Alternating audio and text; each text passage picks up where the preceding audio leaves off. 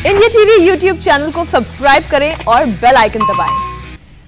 भारत में मिला corona virus का डेल्टा वेरिएंट, अब तक का सबसे तेज संक्रमण फैलाने वाला वेरिएंट है और अब तक ब्रिटेन में मिले अल्फ़ा वेरिएंट को सबसे ज़्यादा इन्फेक्शन वाला वायरस माना जाता था लेकिन भारत में हुई स्टडी के मुताबिक डेल्टा वेरिएंट ब्रिटेन के अल्फ़ा वेरिएंट से 50 परसेंट ज़्यादा तेज़ी से संक्रमण फैलाता है और भारत में इस पर रिसर्च कोरोना वेरिएंट की स्टडी के लिए बनाए गए एस कोविड टू, यानी जनोम, जो असर है। और national centre for disease control के वैज्ञानिकों ने यह स्टडी के बाद यह बताया है कि देश के सभी राज्यों और केंद्र शासित प्रदेशों को सतर्कता बढ़ाने की सलाह दी गई है। स्टडी के मुताबिक डेल्टा वेरिएंट देश के सभी राज्यों में मौजूद है और इसकी वजह से अब तक देश में एक लाख अस्सी हज़ार लोग मारे जा चुके हैं। डेल्टा वेरिएंट को पहले इंडियन वेरिएंट के नाम से जाना जाता था, जबकि दूसरे वेरिएंट को और एक नाम दिया गया था।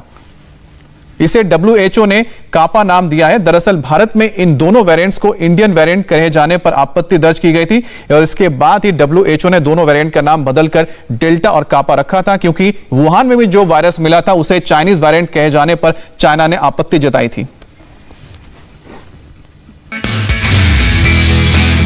नमस्ते, मैं हूँ मीनाक्षी जोशी। वीडियो और खबरों से अपडेट रहने के लिए India TV YouTube channel subscribe करें, बेल आइकन दबाना ना भूलें। जुड़े रहें इंडिया टीवी के साथ।